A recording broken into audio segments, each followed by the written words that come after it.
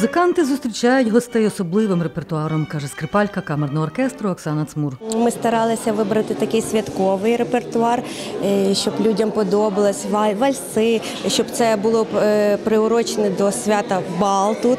І того ми граємо танго, вальси. І з класичні також ми граємо і Баха, і Паганіні, і Дебюсі. У нас дуже різноманітний репертуар. Співак та директор обласного науково-методичного центру культури і мистецтва Андрій Клименко сьогодні не співав. Та чоловік каже, радіє, що має можливість долучитися до волонтерського заходу. Є люди, яким вже за, і про них треба комусь думати. е, З ними треба рахуватись.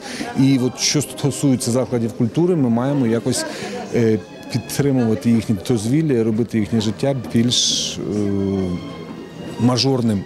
На захід в якості глядачів і суддів, танцюристів-любителів запросили хмельничан, яким за 60. Саме ця вікова категорія, вважає В'ячеслав Нагнибіда, керівник волонтерського осередку ком'юніті, страждає від самотності і браку спілкування. То волонтери, які брали в ньому участь, це, по-перше, ті люди, які дійсно хочуть принести частинку себе, віддати частинку свого душевного тепла для того, аби людям старшого покоління було жити не так самотньо, не так тоскно у сучасному світі. Саме тому волонтером міг стати кожен, Шість пар учасників проекту і волонтерів три місяці двічі на тиждень опановували з хореографом танцювальні па.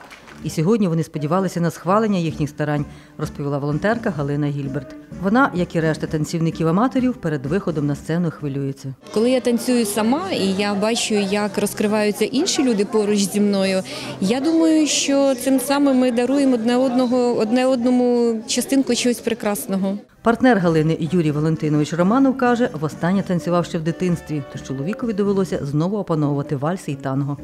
Для мене це було перший раз. Я думаю, глядачі побачать і скажуть, вдалося чи ні. Перший танець, який виконують танцюристи, танго кумперсіта. І отримують за свою працю аплодисменти. Світлана Поробок, Олександр Горішевський. Новини Поділля Центр.